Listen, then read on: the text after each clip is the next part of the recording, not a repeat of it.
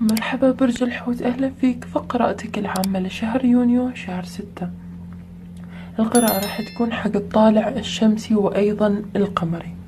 عزيزي برج الحوت راح أبتدي معاك بالجانب العملي ومن ثم نلقي نظرة على وضعك العاطفي وننتهي بالأخبار القادمة في طريقك خلال هذا الشهر.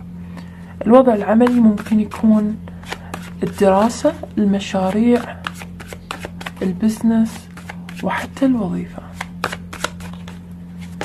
أول كرت هنا عندنا راح يكون تبع الطاقة الحالية. الإمبراطور. حدد هدفك. وصلت إلى مرحلة يا برج الحوت تستحق فيها أن تقوم أو لك القدرة أن تقوم باتخاذ قراراتك الخاصة. ولكن أنا أشوف برج الحوت هني ما في أحد يتفضل عليك بهاي المكانة. هذه المكانة أنت حققتها لنفسك. بسبب اجتهادك بسبب آه، صبرت كثيرا من أجل أن تنول شهادة معينة وظيفة أو حتى أموال. أنت تعبت. الإمبراطور لا يستيقظ على منصبه بين يوم وليلة. في اجتهاد في سنين من العمل والتدريب. اجتهدت وإن شاء الله راح تبتدي. ما راح أقول لك هني هني ما أشوفك تحصد ثمار كثر ما أنك قاعد تعيش امتيازات. يعطيك إياها هذا المنصب هذه المكانة الاجتماعية أو حتى الوظيفية الجديدة اللي أنت راح تحصل عليها بداية بهذا الشهر هي نتيجة تعبك وجهدك لوحدك. الطاقة اللي طالع منها يا برج الحوت. طاقة برج الثور. هنا عندنا الحمل في الإمبراطور وهني برج الثور الهايروفانت أو المأذون. نعم أشوفك هني. أنت تعرف لما يقولون بالإنجليزي I paid my dues دفعت الثمن اللي لازم أن أدفعه من أجل أن أنجح من أجل أن أكون يعني إنسان أستطيع أن أتخذ قراراتي الخاصة. عندك نوع من الاستقلالية راح تتمتع أيضا فيها خلال هذا الشهر. طاقة المستقبل. برج السرطان. ثلاث كرتات رئيسية من التارو. العربة. أشوف هنا يا برج الحوت. ينتظرك إما سفر. سوري إما سفر.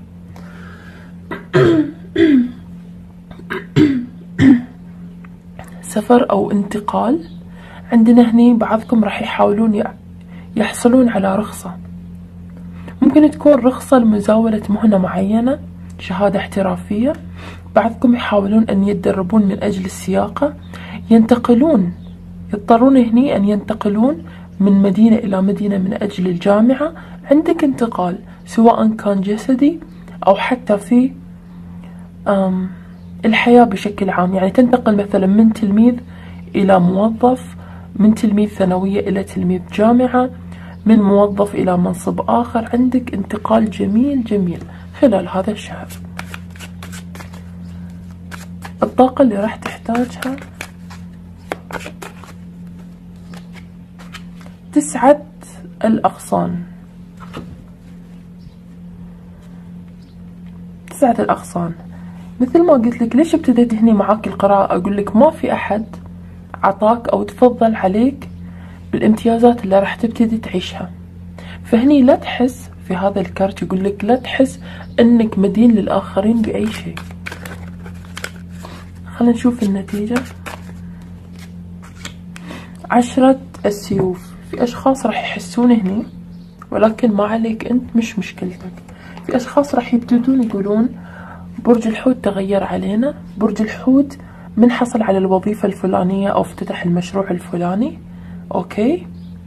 تغير علينا. صار شايف حاله. طلعت ألوان الحقيقية. ولكن ما عليك من هذا الكلام كله. ما عليك من الذنب اللي يحاولون إن يحسسونك فيه. لأن عزيزي مثل ما أشوف هني امتيازات استقلالية حتى مو فقط امتيازات مادية. امتيازية ستح... امتيازات راح تحصل عليها بسبب قاعد ترتفع عتبة. مش خطوة عتبة كاملة. أنت على وشك أن ترتفع لها خلال هذا الشهر. لا تنسون إحنا مقبلين على العطلة الصيفية. الكثير من الأشخاص راح يسافرون نعم. وأيضا الكثير من التلاميذ راح ينتقلون من مرحلة إلى مرحلة أعلى. خلنا نوضح الكروت. الإمبراطور. ثمان الخماسيات. شنو قلت لك؟ العمل المضني. التركيز في العمل. إحنا نعمل والناس قاعدين يستمتعون يخرجون آه يتسامرون. إحنا كنا نقضي كل وقتنا وجهدنا وتركيزنا في العمل. هذا هو كأنما اللي قاعدة أشوف الحكاية وراء النجاحات اللي راح تأتي في طريقك وراح وراء الراحة اللي أنت راح تكون مستعد أن تعيشها بداية من هذا الشهر. خلينا نوضح كارت برج الثور وهو المألوف نفس الشيء العالم السفر الارتحال الانتقال. هذا كارت أيضا يعني التخرج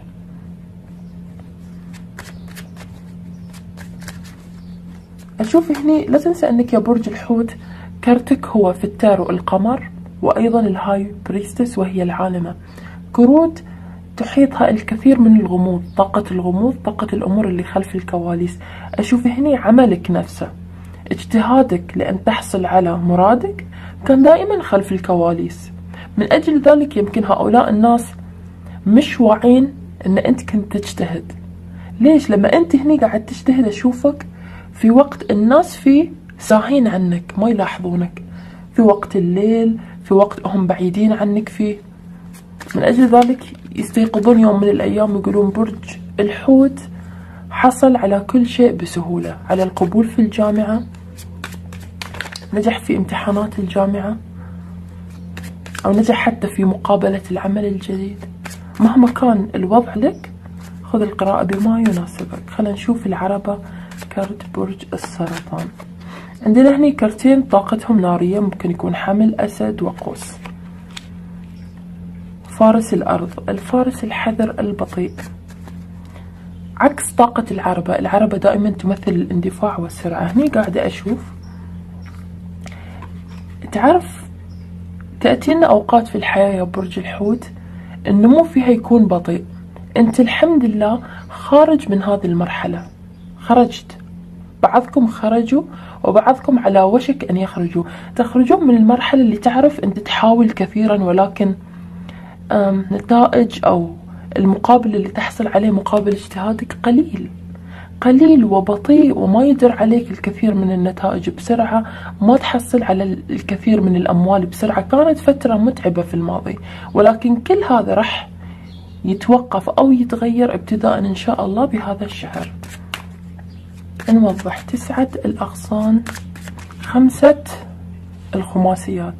خمسة الخماسيات أو الرقم خمسة هو دائما رقم الافتقار. هذا الكرت أيضا يقول لنا إحنا مش المفروض علينا أن نسمح للمشردين الأشخاص اللي الحين صاروا يعرفون قدرنا ويعرفون مكانتنا ومنصبنا نسمح لهم بالدخول والولوج في حياتنا لأن عندك فوقها كارت يقول ممنوع الاقتراب.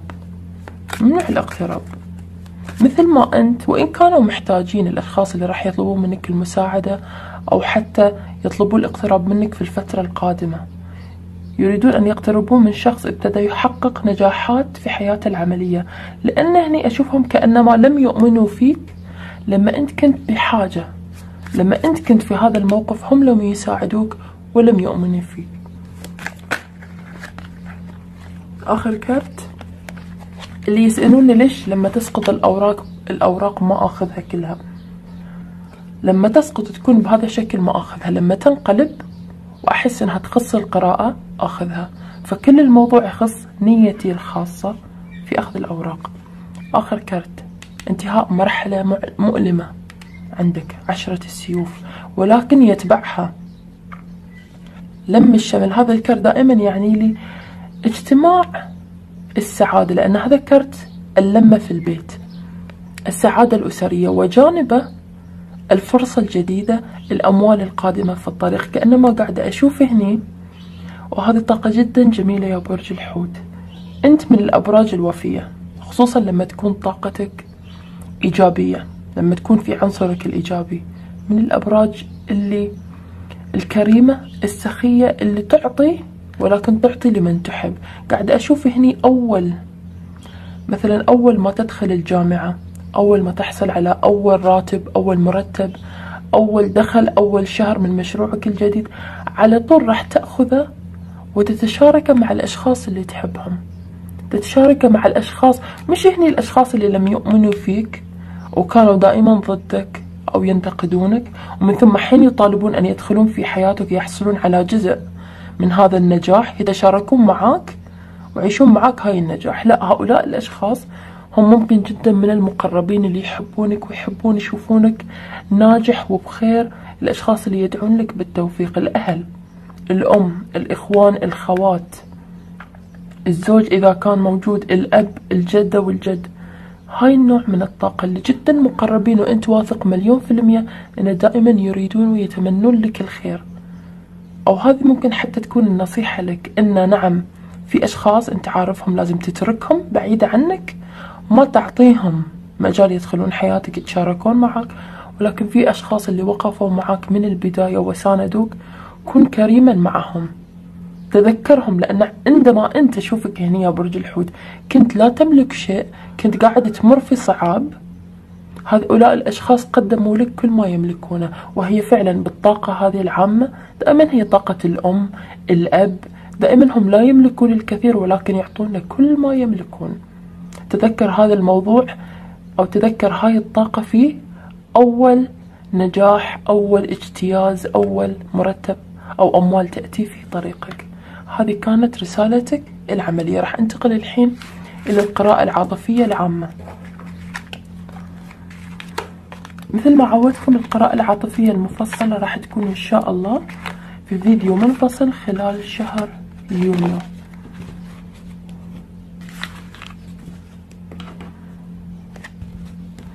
وأيضا القراءة العاطفية ممكن تكون جدا معكوسة. يعني لما أتكلم عن الشريك احتمال إني أتكلم عنك وأيضا العكس.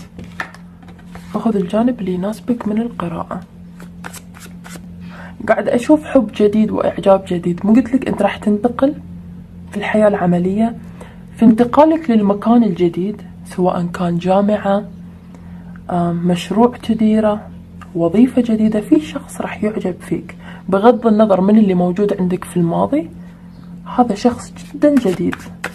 تقع عيناه عليك ومن أول يوم يدرك أنه هو جدا معجب فيك. عشرة الأغصان. كأنما أشوفك هني أنت اللي يا برج الحوت. ما عندك مجال تستوعب الحب أو الإعجاب مش منفتح من أجل الحب. هل مريت بتجارب أو ماخذ فكرة سيئة عن العلاقات بشكل عام؟ عشرة الأكواب نعم لازم تدرك هني. إذا ما تنهي الطاقة القديمة عندك طاقة الخذلان طاقة الألم طاقة اللي أنا جربت أحب من قبل جربت أرتبط من قبل وما أتاني إلا الأذية من الناس. عندك هاي النوع من الطاقة. تتذكر الماضي؟ وشلون أثر عليك الماضي؟ وتقول ما أريد بعد. ما أبي مرة ثانية أريد أدخل في حب وأريد أخسر. توني الحين أنا مستعد لبداية جديدة. ولكن هني الرسالة لك مقابل عشر الأغصان عشر الأكواب. إذا إحنا ما نخاطر ما نقدر نحصل على مرادنا. الإنسان ما يحصل على اللي في باله الأمنية. إنزين عن طريق أنه يظل قاعد مكانه وينتظر الحب أنه هو يدق بابه. ويكون هو دائما مثلا ممتنع. تسعة الأكواب. هذا شيء أنت لطالما تمنيته. لطالما تمنيته ولكن راح يأتيك في وقت. يدق بابك في وقت أنت لم أنت ما تتوقع. شوف عندنا الكثير من طاقة الماء. ولكن الشيء الوحيد اللي لازم تسويه إن انت تكون منفتح من أجل الحب ثلاثة الأكواب. الاحتفال. أشوفه هذا شخص ما يحب يلف ودور مثل العلاقات أو التجارب السيئة اللي انت مريت فيها في السابق. هذا شخص أحب يدخل في الموضوع دغري. ويوضح مشاعره أيضا بسرعة. هنا عندنا كارت الاحتفال. يبين لي أنه بسرعة يتجه نحوك. يبين لك مشاعره يعطيك اهتمام. الكثير من الاهتمام. يغرقك بالاهتمام خصوصا أمام الناس. أحب أن يبين مكانتك في قلبه أمام الناس. هذا هو الشخص اللي ممكن يكون توه دخل في حياتك. أشوف نيته جدا ممتازة وطيبة وممكن على وشك أن يدخل. نوضح الكرتات. الكوب الأول. ملكة الأرض احتمال أنه من برج ترابي. أشوف هني طاقة الماء. ممكن يكون أيضا برج مائي ولكن الطاقة الترابية أقوى عندي. عذراء دلو آه سوري عذراء جدي وثور. لا تنسى أن في قراءتك العملية كان عندنا كارت برج الثور المأذون هني. أنت هني كأنما قاعدة أشوفك تفكر. يمكن في فارق سن بينكم أو فارق في المنصب فارق في البيئة في فرق ما بين طاقة الماء وطاقة التراب. فارق ديني مذهبي فارق في الجنسية حتى قاعدة تفكر ليش هذا الشخص؟ تشوف أن إنسان زين تتساءل مع نفسك ليش مرتبط؟ ليش الحين قرر يرتبط فيني أنا؟ لماذا اختارني أنا؟ عندك شوية طاقة شك في نواياه هذه هي طاقة عدم السماح بالاقتراب الدفاع. اللي قلت لك لازم تخرج منها عشان تحصل على أمنيتك في الحب. الأمنية اللي يمكن استسلمت عنها من, من وقت طويل.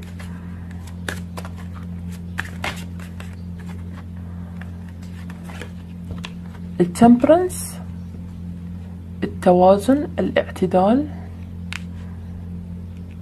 هني كأنه ما يقول لك هذا أيضا كرت يعني الصبر. ساعات إحنا نتمنى وأيضا الملاك في يدك وبين قاعد يوازنهم. ساعات إحنا نتمنى يا برج الحوت ساعات نتمنى أشياء ونكون مستعدين لها وما تأتينا. ما تأتينا. لازم نكون هني أيضا قاعدة أشوف الإيمان. نؤمن إن في الوقت المناسب بالشكل المناسب راح نلتقي الشريك اللي يستحقنا. فهني كأنما يقول لك لا تخطأ بالخلط بين العلاقات السابقة اللي مريت فيها بتجارب سيئة أشخاص غير جادين أشخاص أشوفهم هني أشخاص شنو اللي جرحك وتعبك؟ إن هاي الأشخاص العلاقات السابقة الشريك السابق كان غير مستعد أن يحارب من أجلك. دائما ينسحب دائما يتركك انت تواجه الظروف والمصاعب لوحدك. هني يقول لك لا تزر في هاي الكوب قاعدة أشوف في هالكرت. لا تزر وازرة وزر أخرى. مش كل الناس على شاكلة واحدة ومش كل أصابعك سوا. لأن جدا الشخص القادم في طريقك أشوفه شخص إن شاء الله جاد وممتاز. خلقا وخلقا. سوري خلقا وخلقا. خلينا نشوف تسعة الأكواب. تسعة الأكواب. أوضح من كذي ما في. دائما تسعة الأكواب رقم تسعة هو رقم الشيء الفردي يعني واحد. خلينا نقول التسعة هو الواحد. أمنية واحدة قديمة عندك بخصوص الحب بخصوص لما كانت مشاعرك لحد الآن غير مخذولة بشكل عام تجاه الحب. لما كنت لحد الآن تؤمن بفكرة الحب نفسها. نعم ما صار لك نصيب في السابق ولكن الحين الحب نفسه قاعد يطرق أبوابك. هل راح ترفض شيء أنت لطالما تمنيته؟ نوضح آخر كرت.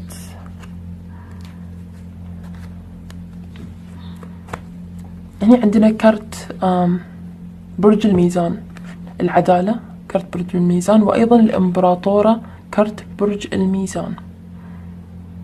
هذا شخص قلت لك من البداية حتى قبل أن أشوف الكرتات التوضيحية. في ثلاث الأكواب قلت لك هني يريد أن يدخل من الباب على طول جاد على طول واضح. أشوف هني قاعدة أتكلم مع شخص من برج الحوت.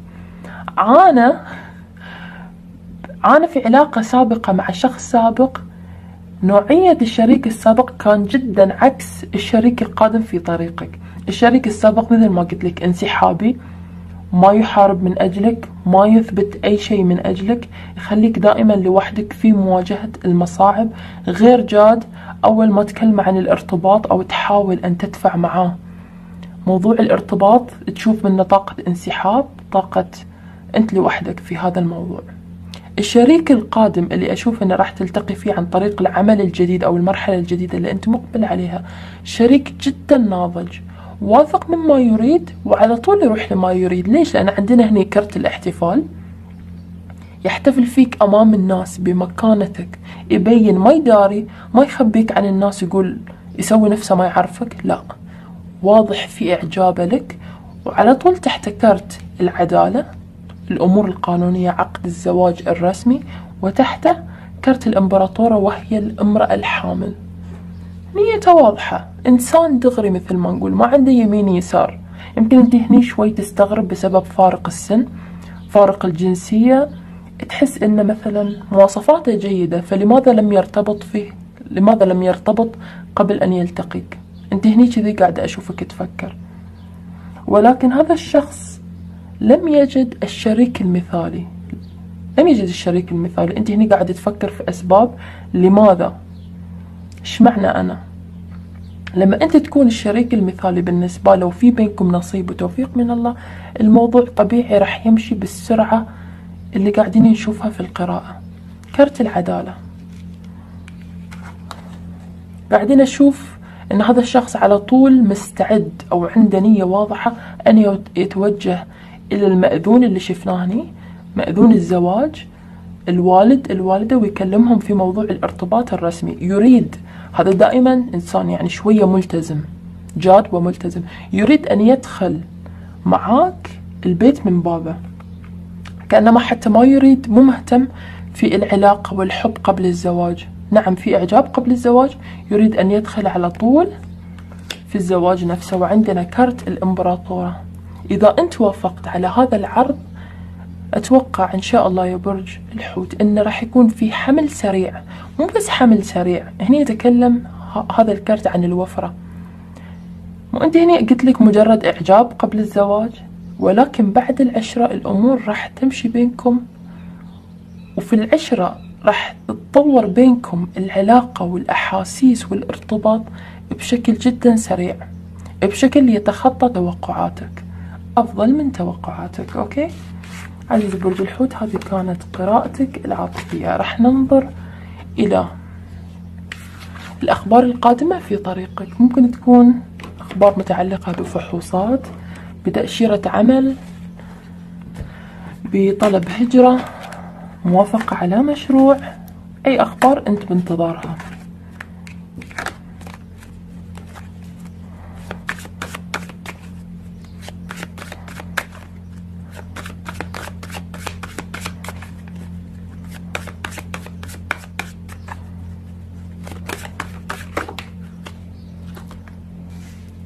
ملك الأكواب. في خبر بالموافقة. مو فقط الموافقة راح يكون في ثقة من هاي الأشخاص بأنك تكون على قد المهمة. اللي بعده. هذا كرتك أنت كرت العالمة. موافقة عليك. ممكن جدا أن تكون تحاول تدخل مثل ما قلت لك الجامعة تحصل على وظيفة لأن هني أشوف الموافقة شخصية باسمك. باسمك الخاص مو باسم شركة باسمك الخاص. تنقبل في وظيفة تنقبل في أو حتى هني قاعدة أشوف ينادونك بالاسم. هل أنت بانتظار مثلا حفل تخرج؟ ينادونك بالاسم. يمكن في هني شركة توظيف أو شخص لاحظ أدائك من بعيد انتبه لك. فقبل حتى أن تعرض نفسك عليه تريد أن تقدم يعني على الوظيفة على الجامعة وهم ينادونك بالاسم أو يطلبونك بالاسم. أوكي؟ أربع الخماسيات. قاعد شوية أنت شوفك هني تعاين. تعاين كل خياراتك. تريد أن تختار الأفضل لنفسك. ما تريد تتسرع في اتخاذ القرار. عشرة الأكواب مرة أخرى. نعم لأن أشوف هني أنت تفكر أن القرار القرار اللي راح تاخذه في هاي المرحلة في الجامعة الوظيفة الجانب العملي راح يتأثر على حياتك بأطولها على المدى الطويل. فأشوفك هني شوية حذر وما تريد أن تتسرع في اتخاذ القرار ولكن قرار تأثيراته راح تكون إن شاء الله جدا إيجابية. آخر كرت فارس السيوف. هل أنت خائف من المسؤولية؟ ما أدري. هل أنت خائف من الانتقال؟ عندك شوية خوف أيضا. هاي الكرتين يبينون لي أنك خائف؟ مش خائف كثر ما عندك شوية. قليل جدا ترقب من المستقبل لأنك داخل في مرحلة جديدة. منتقل مثلا من مرحلة ثانوية إلى جامعية من مرحلة خريج إلى مرحلة موظف. فعندك شوية تريد أن تبهر الناس تريد أن تثبت نفسك. عندك مهمة تريد أن تحققها. ففي الفترة القادمة أيضا النصيحة لك أن تكون مركز. مركز وجاد وعلى قدر المهمة في هاي الموضوع. راح أشوف لك الكرت التحذيري تبع الطاقة التحذيرية لهاي الشهر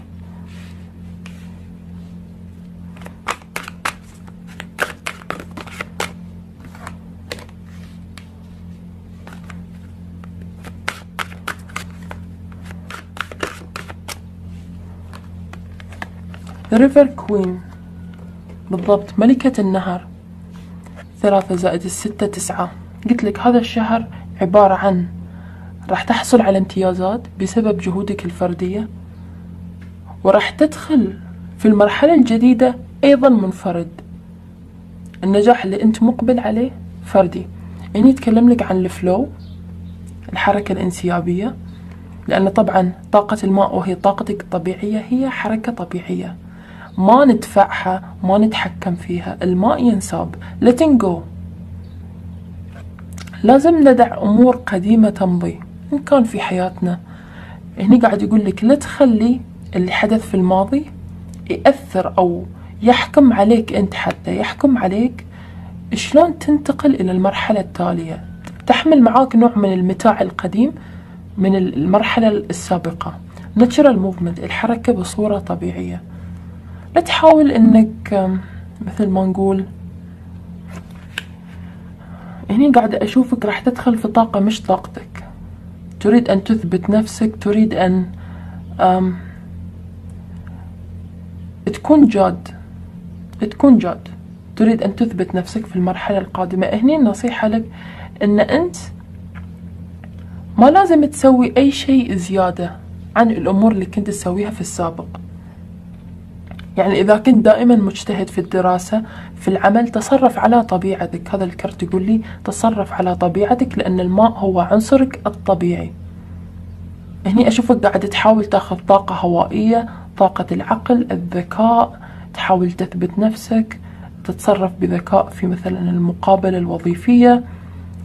لا تطلع من طاقتك. طاقتك هي أفضل. ليش أقول لك طاقتك؟ لو أتى برج هوائي وحاول أن يأخذ شوية طاقة ماء شوية طاقة مائية مثلا عشان ينجز فيها شيء معين ممكن ولكن لازم تدرك أن لا البرج الهوائي راح يتمكن من الطاقة المائية مثلك أنت ولا أنت راح تتمكن من الطاقة الهوائية مثل البرج الهوائي نفسه. فكل واحد عنده سيطرة وتحكم أقوى على الطاقة اللي انولد فيها. كن على طبيعتك. لا تحاول تتصنع ولا تحاول تمشي على خطى شخص آخر. تشوف مثلا ابن عمك زميلتك في الدراسة حتى هذا هو التحذير. الحين سمعته بشكل واضح. مثلا عندك صديقة أو صديق دخل إلى الجامعة ودخل إلى التخصص الفلاني وتروح تتبعه. أنت هني حركة الماء مسارك مختلف عنهم فلا تحاول أن تمشي على خطاهم. مثلا إذا أحد الوالدين درس في الجامعة الفلانية تريد أن تمشي على خطاه تخصصاتهم في العائلة تخصصات معينة كلهم مثلا أطباء. تريد أن تمشي على خطاهم. خل يكون لك بصمتك الخاصة. في أي موضوع أنت مقرر تدخل فيه أو تقبل عليه عزيزي ونشوف ما هي الطاقة الحيوانية اللي راح تحتاجها خلال هذا الشهر بإذن الله. أوكي. كارتين مقلبوا الستارفش عنصرها أيضا مائي. معناته رسالة تأكيدية كن في عنصرك المائي كن على طبيعتك. نجمة البحر تتكلم عن الجاذبية الجمال السطحي وأيضا الكاريزما. وعندنا الترانشولا العنكبوت الذئبي أتوقع وعنصره ناري. في الفترة القادمة كأنما هني لك نصيحة أن مش محتاج مثل ما قلت لك أن تأخذ طاقة هوائية. تصرف على طبيعتك وخلي الآخرين يشوفون إبداعك الخاص. المجال اللي راح تدخل فيه ما يريدون شخص جاد كثير العمل يملكون الكثير من الأشخاص اللي كذي. ركز على الجانب الإبداعي. ليش؟ لأن أشوف العنكبوت مع أنه جدا مبدع وجدا متميز ولكن ما في كائن ثاني يقدر يقلده. طريقة حياكته مختلفة. يريدون منك الإبداع التميز الاختلاف. هذا اللي راح يخليك تصل إلى مبتغاك في فترة أقل. في فترة أقل. أسهل من لو أنك تحاول تاخذ طاقة أنت مش متمكن منها. تحاول تقلد شخص أو تمشي على خطة. لا أنت عندك هنا مواطن قوة خاصة فيك. استخدمها. مثلا أشوف أنا كثير من الأشخاص عشان يحضرون طبق معين يدخلون المطبخ ويمضون ساعتين وثلاث. ويكون طبقهم جدا جميل جميل. ما راح أقول لك متميز طبق تقليدي جميل. ولكن دائما برج الحوت لما مثلا يدخل المطبخ خلال نصف ساعة أربعين دقيقة يطلع لك بطبق مبتكر من صنعه الخاص. أبدا ما في مثله يعني ما في أحد ما في فيديو شاهده وقلده. طبق الخاص وفي وقت أقل وقياسي. هذه الطاقة اللي محتاجها. ركز على إبداعك الخاص. هم محتاجين لهاي الطاقة منك وهي اللي راح إن شاء الله توصلك إلى هدفك. عزيزي برج الحوت هذه كانت قراءتك